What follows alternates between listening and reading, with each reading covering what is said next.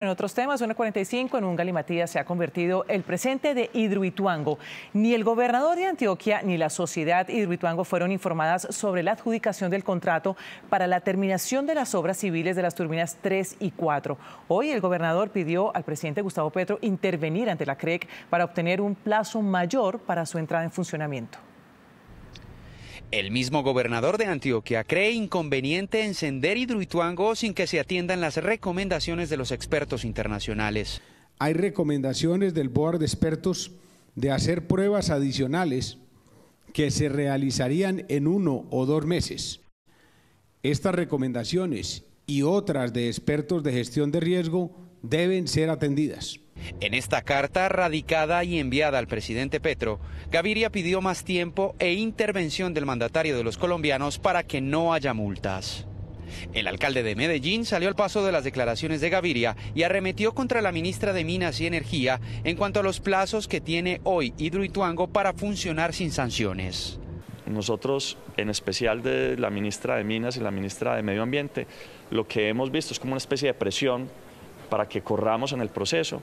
Nosotros dijimos, pues hombre, no vemos el apoyo de la ministra de Minas, de la ministra de Medio Ambiente, a pesar de que sabemos que el presidente está de acuerdo en que haya pruebas, pero ellas de alguna manera pareciera que quisieran que sancionaran a EPM. Por su parte, la Unidad Nacional del Riesgo, a través de este documento enviado a la Asamblea de Antioquia, advierte que los riesgos en el vertedero y la presa de Hidroituango permanecerán durante toda la vida útil de la hidroeléctrica, es decir, 50 años. Además dice que todo el riesgo de la puesta en funcionamiento será por empresas públicas de Medellín, que no existió ningún PMU que ordenó ningunas obras adicionales.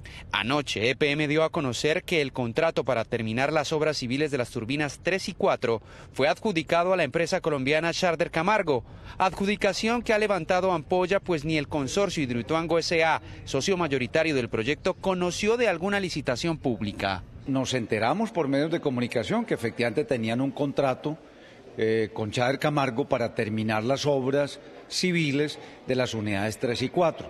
No nos habían contado, no sabíamos, no habían informado y esa es parte de las obligaciones de empresas públicas de Medellín. La Unidad Nacional insiste en la necesidad de actualizar la circular de riesgo, pues aguas abajo hay 38.053 habitantes en tres municipios que podrían correr peligro.